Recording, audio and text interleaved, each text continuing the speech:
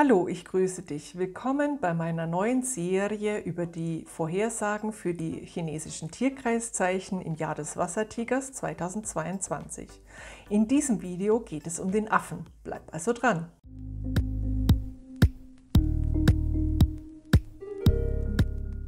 Affen haben dieses Jahr die exponierte Stellung, dass sie in Konflikt mit dem Jahrestier des Tigers stehen.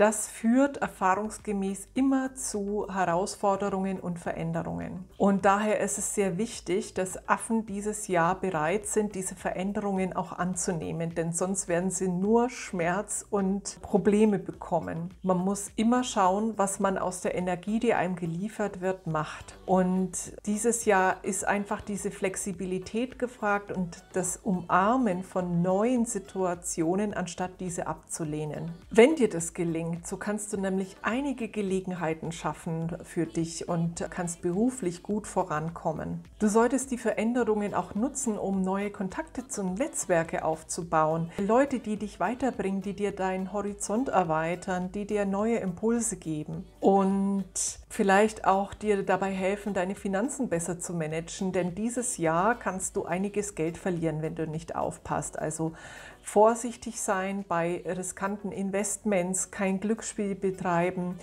Diese Szenarien mit dem schnell reich werden, das wird dieses Jahr bei dir nicht aufgehen. Du wirst da eher Geld verlieren. Auf der anderen Seite kannst du Geld machen, wenn du unterwegs bist oder auf ausländischen Märkten unterwegs bist, sozusagen, auch übers Internet.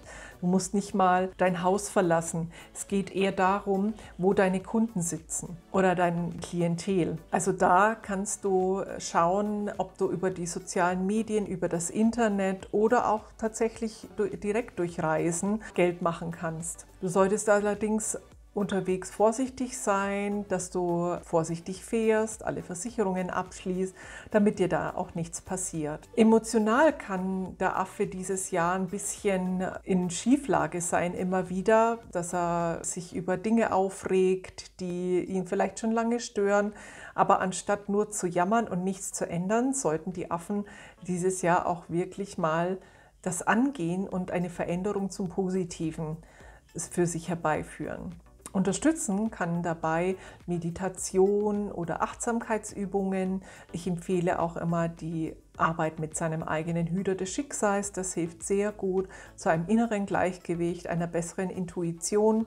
Den kannst du bei mir erfahren. Allerdings macht auch der Affe nur 12,5 Prozent in deinem ganzen Chart aus, in deinem ganzen Barze-Diagramm, das deine Persönlichkeit und dein Leben darstellt. Für eine genauere Analyse fürs Jahr brauchst du eine individuelle Jahresprognose, einen Jahrescheck, den kannst du bei mir machen. Wenn dich allgemeine Trends interessieren oder das Thema Astrologie, chinesische Astrologie oder auch was du im Feng Shui tun kannst, um das Beste aus diesem Jahr zu machen, dann empfehle ich dir mein Buch mit der Prognose für das Jahr des Wassertigers 2022, das auf Amazon erschienen ist. Viel Erfolg in diesem Jahr wünscht dir Cornelia Cara. Tschüss!